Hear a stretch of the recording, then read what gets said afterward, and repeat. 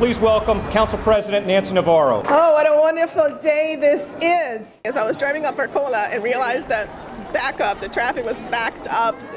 I don't know, it was like two miles. I realized, okay, this is this is great. And it's because this is an amazing community. Three. This 92,000 square feet LEED Silver Library and Recreation Center. Very excited to see it.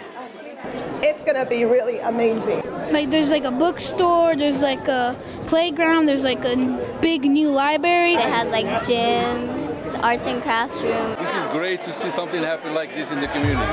This is number one, first time ever, and this is the best. Oh, I think there's a tremendous amount of enthusiasm. The best community center in Montgomery County. This facility is going to, for many generations to come, be a gathering spot. This is going to help improve the quality of life for county residents. This is going to do a lot to be vibrant from our business community. It's going to be a connector, and so this is a great gathering spot that will promote health and wellness and literacy throughout our entire county.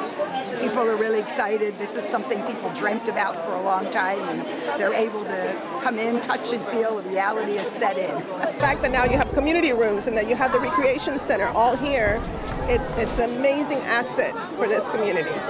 Waited a long time for this. At a time when division, hateful rhetoric is at an all-time high, I am proud to represent this district and this community. Everybody came together to advocate for this facility. It really affirms and, and validates, um, you know, uh, just just being in public service. Our children, I think, see all of us working together as a role model, as a possibility for what we can continue to do in Montgomery County, in our country, and in the world.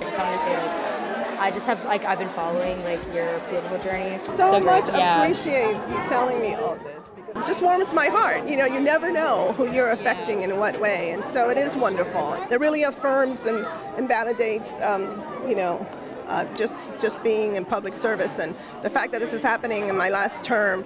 Um, I'm really thrilled because I was worried that it wouldn't happen, but here we are. And I hope that this um, library will become one of the best libraries in America.